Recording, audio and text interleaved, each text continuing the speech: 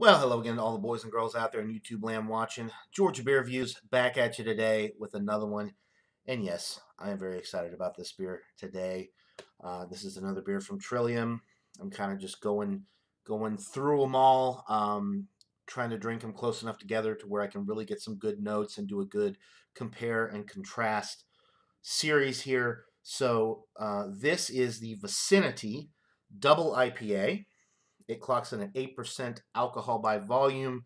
Uh, Trillium Brewing Company is out of Massachusetts. They have two breweries in Massachusetts, one in Boston and one in Canton, Massachusetts.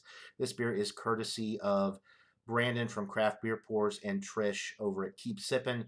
Thanks so much, guys, for sending me all these wonderful beers. I will post links to their channels in the description below, so please, if you haven't already, go check them out. Okay, so the other double IPA that I had from Trillium earlier was their Metal double IPA. It was 8.9%. This is just a measly 8%.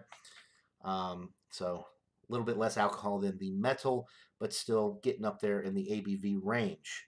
Uh, of course, I've never had this before. Can't get anything from Trillium in my area. You can only buy Trillium beers at the breweries, at the locations in Massachusetts. They do not distribute at all apparently, which is unfortunate because everything I've had from them so far has been freaking incredible. So let's see how this one is. And of course, I've got my Trillium glass that I'm going to pour this beer in.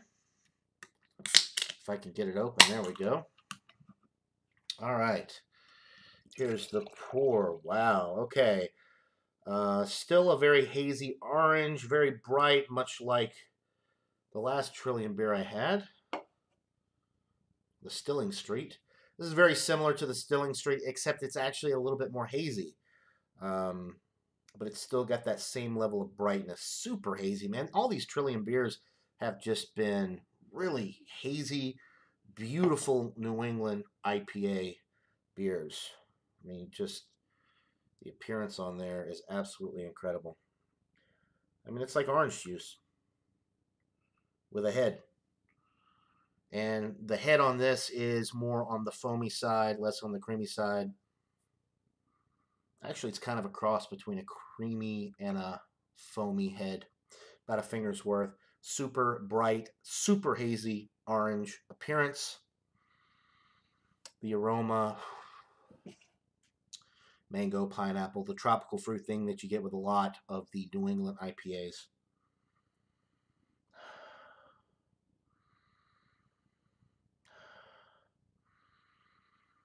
A little bit of like a lemon zest, lemon peel type note.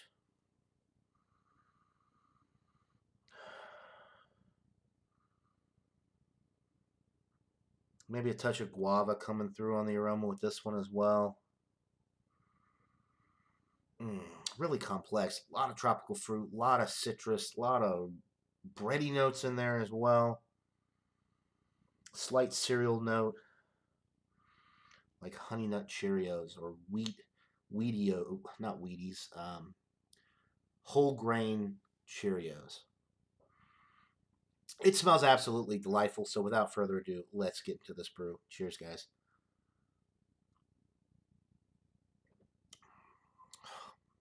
Whoa.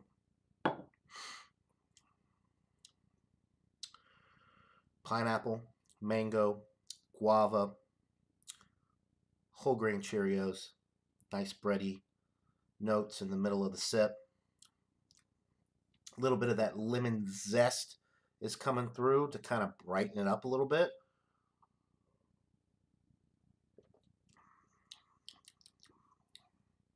There's something I can't quite place with this in the middle.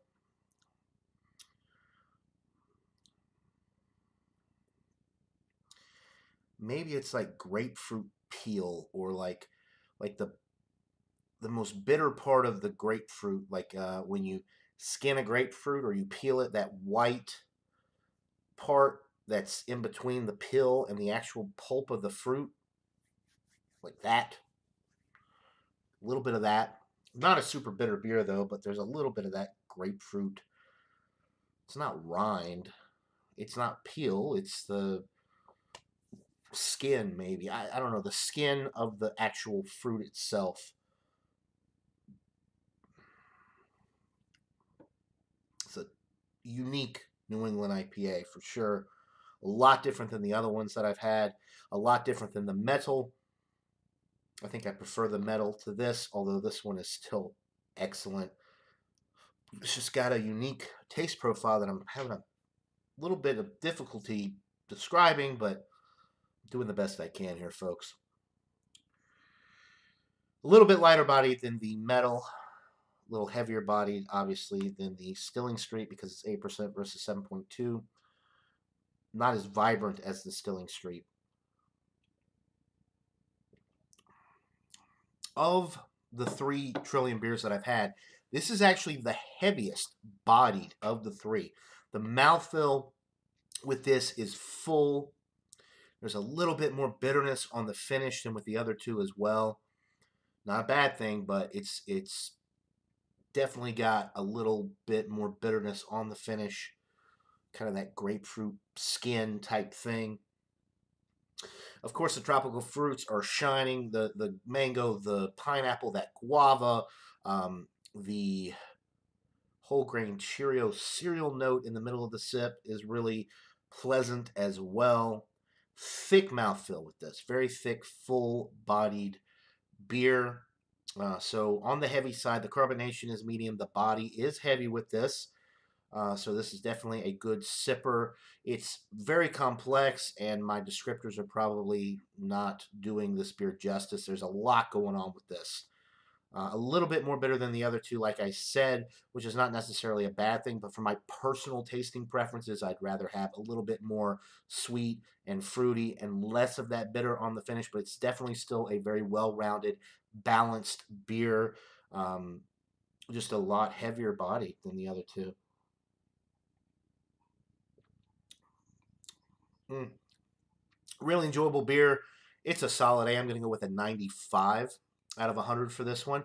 It is a solid A New England IPA. If you can get Trillium beers in your area, I definitely recommend that you do so. Look at the nice splotchy lacing, the beautiful juicy New England appearance there with this IPA. Another super fresh sample as well.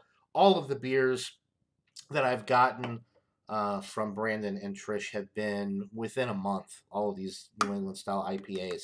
So we're looking three to four weeks old. So super fresh, which is how you want to drink your IPAs. Obviously, you don't want to age a New England IPA because there's a ton of hop character that you get with these beers, and it would just be lost if you aged it for more than a month or two. So 95 out of 100, a solid A. Thanks again to Brandon and Trish. Uh, their links will be in the description below, as well as Brandon's channel whoop, right there, and Trish right there. Definitely go check them out. That'll do it for this beer review, guys. Hope you're all having a wonderful day, and until next time, everybody, cheers.